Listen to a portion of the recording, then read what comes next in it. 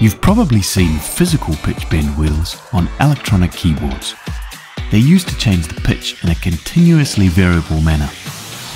Traditionally, in music recording, pitch bending is a way to smoothly slide between notes and is used as an artistic, creative flourish. While the new pitch bender in AudioDirector can be used in this manner in post production, it's more useful as a tool to create standout sound effects in your video soundtracks. In this tutorial, we'll show you how you can use Pitch Bender to give a bit more interest and impact to a video of a skateboarder executing a kickflip. Open AudioDirector and drag your video clip into the library. The video clip we're using already has a background audio track added to it.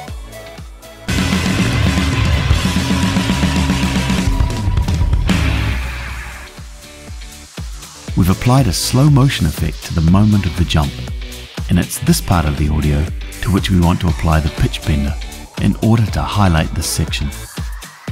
In the adjustment panel, click on Adjust Audio, then select Pitch Bender.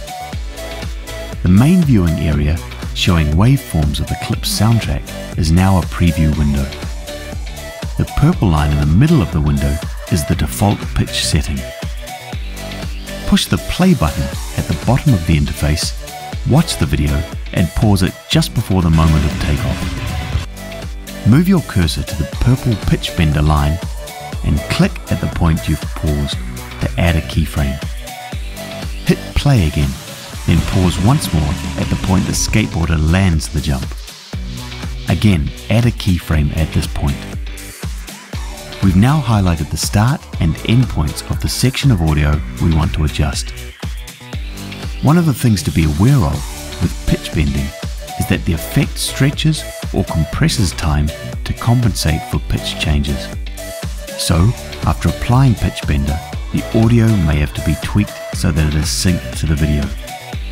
As we've added a slow motion effect to this section, lowering the pitch at this point will help to enhance the effect. Let's try adding a bell-shaped curve in this section.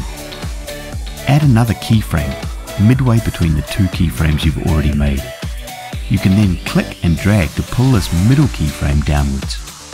This will lower the pitch as the skateboarder enters the jump and then raise the pitch back to normal again as he lands it. To make the pitch transition smoother, we can click the settings icon next to the preset selector. Then check the spline curves box. You can add additional keyframes to reduce the distance of the transition if necessary. Preview your adjustment by clicking the play button again.